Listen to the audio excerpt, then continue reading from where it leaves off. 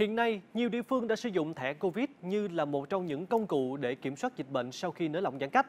Chỉ cần lướt trên mạng xã hội Facebook trong những ngày này thì rất dễ dàng nhìn thấy nhiều người đã cài đặt ứng dụng PC Covid và có thẻ Covid với mã QR.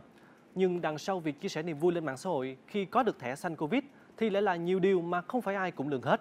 Đó là nguy cơ lộ thông tin cá nhân nếu đăng tải lên mạng xã hội hình ảnh mã QR.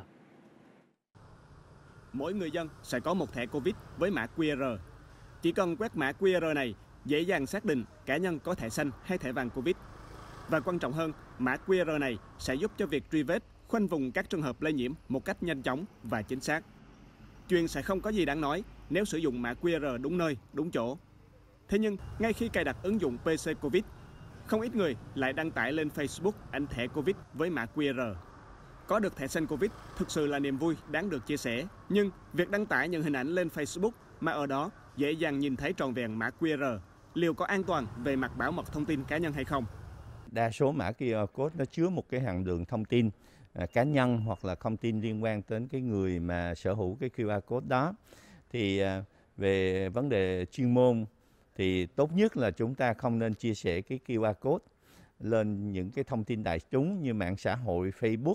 Với chiếc điện thoại trong tay, chỉ một thao tác đơn giản là quét mã QR thẻ Covid, dễ dàng có ngay thông tin người đó là ai, số điện thoại, số thẻ chứng minh nhân dân, số thẻ căn cước công dân. Những thông tin như thế, nếu rơi vào đối tượng có ý đồ xấu thì khó mà lường hết những điều tai hại.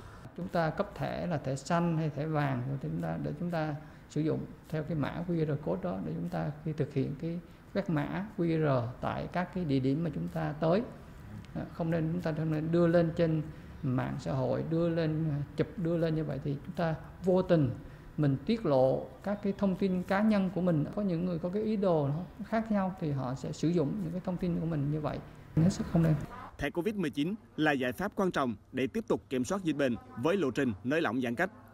Cũng vì vậy, và lúc này, các địa phương tăng cường hỗ trợ người dân kịp thời cài đặt ứng dụng PC Covid để có thẻ Covid với mã QR. Song song với đó, khuyến cáo cũng đưa ra là người dân nên sử dụng đúng cách mã QR để đây thực sự là công cụ hữu hiệu giúp phòng chống dịch.